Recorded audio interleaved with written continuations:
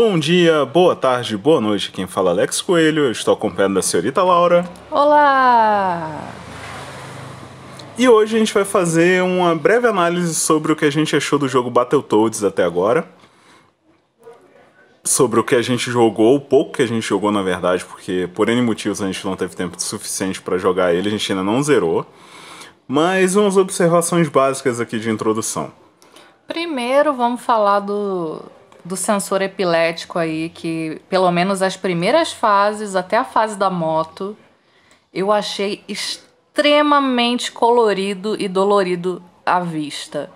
O Alex jogou porque ele é, tá menos sensível do que eu, mas o jogo tá muito colorido num ponto de chegar a ser incômodo. Eu achei visualmente ele tá um pouco incômodo sim. A questão de luminosidade dele é bem alta, apesar que dá pra gente regular, mas eu acho que a explosão de cores acaba tornando essa regulagem inviável. Então, mesmo que você deixe ele um pouco mais escuro e tal, ainda ele é, tem uma saturação de cores pela aquela coisa de ser muito cartoon.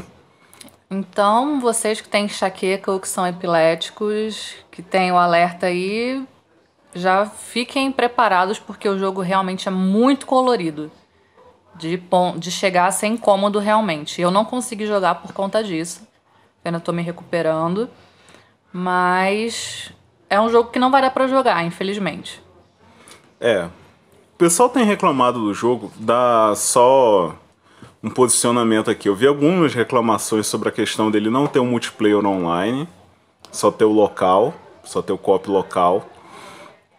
Eu achei meio estranho, porque a gente queria jogar com alguns amigos online e tal, até para poder gravar e fazer aquela coisa de, de zoeira e não vai dar.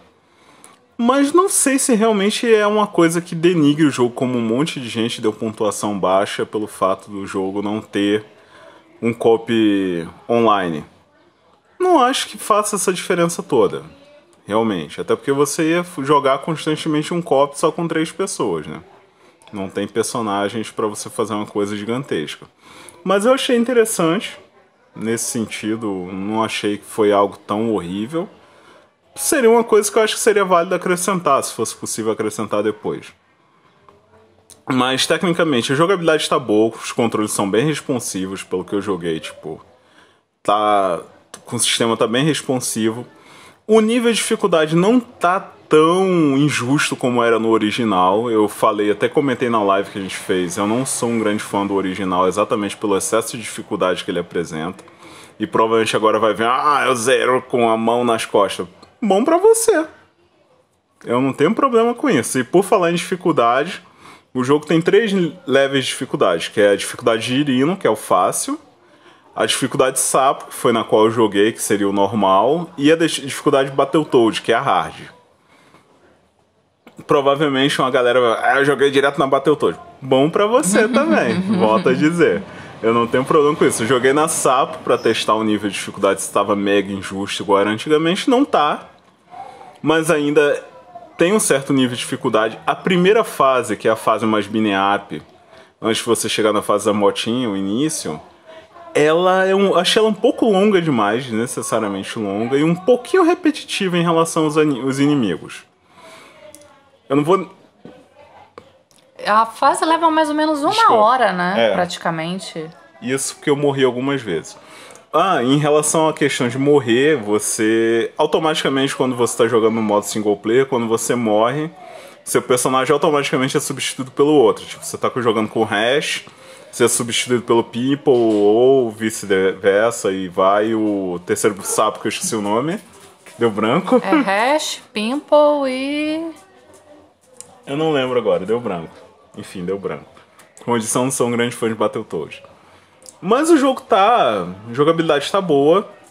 Eu achei interessante um fato em relação a quem jogou o antigo, as moscas que são os colecionáveis e também funcionam como as moscas funcionam para você recuperar o life. Elas não saem mais voando, elas ficam paradas que no antigo se dava uma agonia violenta, porque você detonava os inimigos, eles deixavam as moscas, você tinha que correr desesperado para pegar elas antes de elas saírem voando.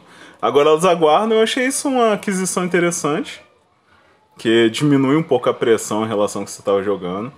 A fase da motinha, ou do jet ski, como eu chamava sempre, Tá um pouco menos injusta, não tá tão esquizofrênica como era, pelo menos até onde eu joguei. Como eu disse, eu não zerei o jogo ainda.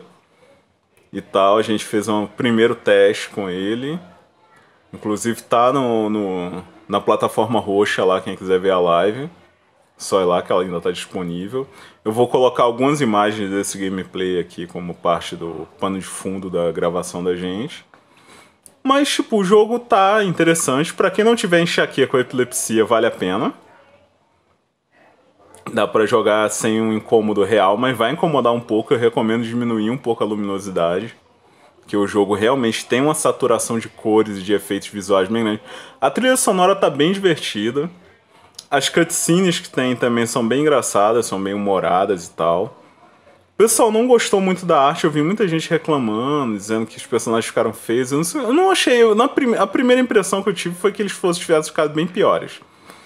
Realmente, eu não gostei. A gente até comentou isso, acho que em outro vídeo, que a gente tinha achado feio e tal. A Laura falou também. Eu tinha achado muito quadrado de princípio, né? Eu achei um gráfico cartoon meio feio nos trailers, mas eu não sei se eles mudaram, se eles suavizaram ou se é a gente que acostumou. Talvez mas... um pouco dos três. É, mas eu achei o gráfico até bem bonitinho. Tirando esse excesso de cor, eu achei o gráfico cartoon bem legal. Não, realmente ele visualmente na hora que tá jogando é bem melhor, mas ainda tem a questão da saturação de cores. É muita informação na tela.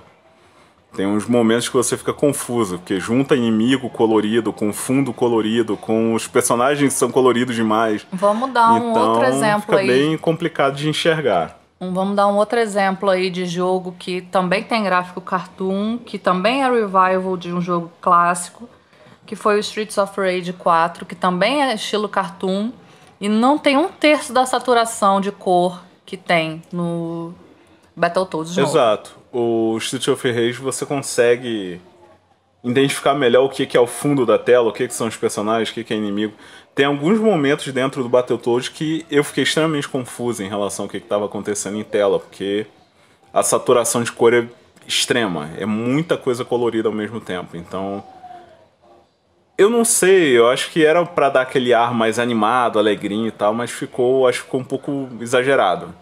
Podiam ter suavizado isso um pouco. Podiam, da mesma forma que saiu no Streets of Rage, que saiu ok, saiu bem balanceado e o gráfico tá legal. Eu gostei bastante do gráfico. Só achei fase, as fases muito longas, se demorar praticamente uma hora é, para faz, fazer uma fase. Eu acho que não tinha necessidade de fazer uma fase tão longa assim.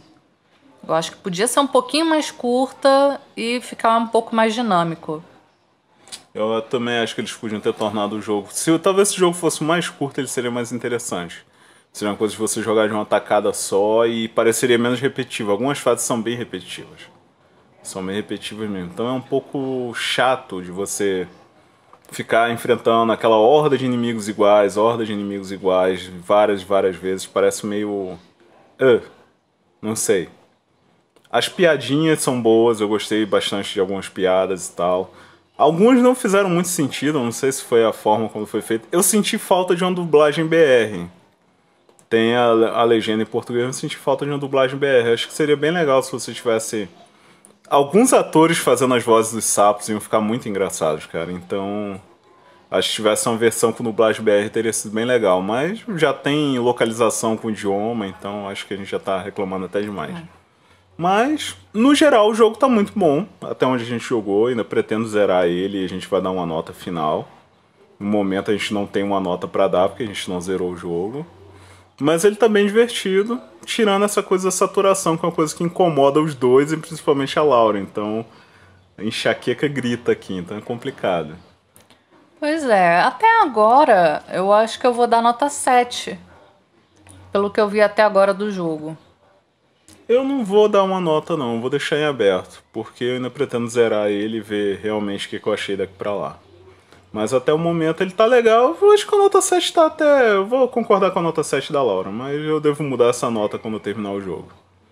Depois a gente volta a falar. Algo mais a acrescentar? Então é isso, gente. Valeu quem acompanhou até aqui. Inscreva-se no canal. Deixe a sua opinião sobre o jogo, se você prefere essa nova versão, se ela respeitou o clássico, ou se o jogo clássico era melhor, como muita gente está reclamando, dizendo que o clássico era infinitamente melhor. Eu não acho, cara. Eu acho que Battletoads, o clássico, é muito super valorizado. O pessoal tem uma lembrança muito errada do jogo. E Battletoads é o tipo de jogo que virou cult por conta da dificuldade, sabe? Virou status a pessoa chegar e dizer que zerou Battletoads. Pois é, era uma coisa que eu até brinquei na live, que todo mundo fala que zerou Battletoads, mas ninguém prova. Tipo, tipo... Ou zerar sem ser no emulador, sem hack, né? Exato. Tipo, eu vejo um monte de ah, já zerei, o jogo é tranquilo de zerar, não sei o que e tal, mas. Tá, não vi, então. Falar que zerou é mole. Até aí eu zerei todos os jogos do mundo, é só dizer. Não que zerar Battletoads seja, oh meu Deus, que coisa impressionante, mas era um jogo extremamente injusto, original. É uma coisa que no atual não senti. Essa versão nova ele não é tão injusto. Ele tem um grau de dificuldade considerável, mas não é terrivelmente injusto igual era o clássico que você morria um zilhão de vezes, porque o Battletoads foi feito para ser difícil. Aliás, esses jogos revival que tá tendo agora do Battletoads, do Streets of Rage, do Contra, é, tá tendo muito muito muita sequência de jogo clássico que era considerado difícil, né? Sim. Então, acho que de repente pode vir mais coisa interessante por aí. Vamos aguardar, quem sabe. Mas eu acho que é isso, né?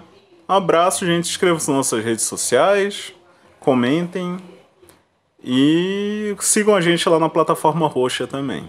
Um abraço e tchau. Um beijo, até a próxima e tchau.